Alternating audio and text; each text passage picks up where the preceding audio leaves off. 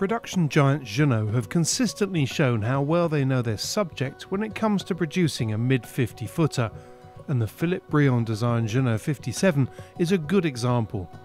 This is a model that's proved itself to be as suitable for coastal cruising as it is easy to set up as a blue water liveaboard. And this is an example of a boat set up very much to head over the horizon. Launched in 2010, she was configured by her owner as a blue water short-handed cruiser, but has not yet been used in this role. So not only is she very well equipped, but she's also in very good condition. Fitted with davits and two passerelles, one of which is carbon, it's clear from the start that this boat has been geared towards long distance cruising.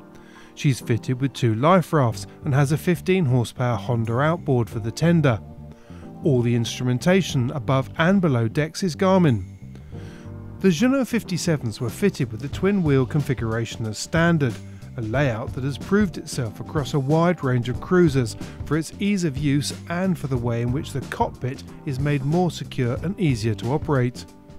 All the winches are Harken electric and this boat is fitted with a bow thruster.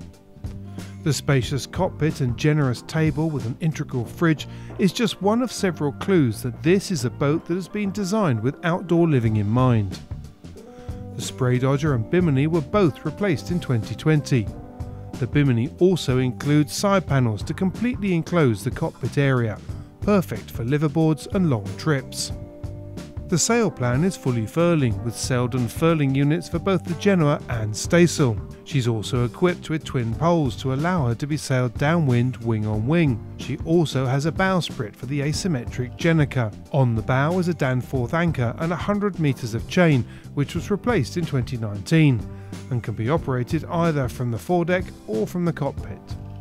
The teak deck has been well looked after and is in good condition throughout. Below decks, she's a three cabin version.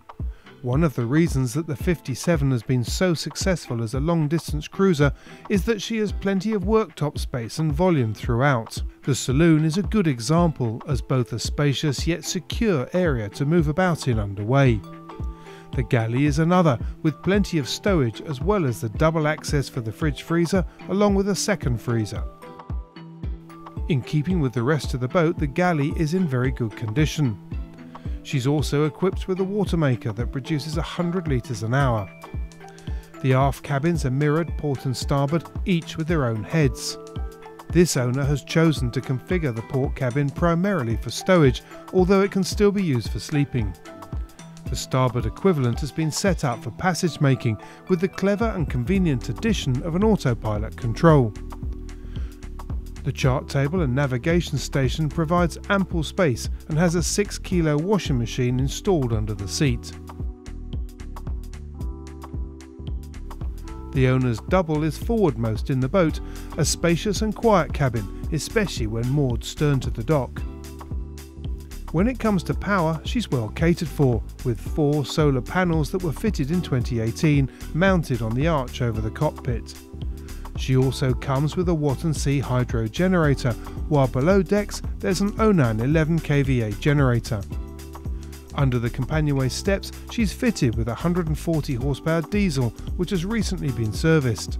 She has 12 gel service batteries that were replaced in 2020. This is a great example of a Jeanneau 57 that is not only well equipped, but is rigged and ready to head over the horizon.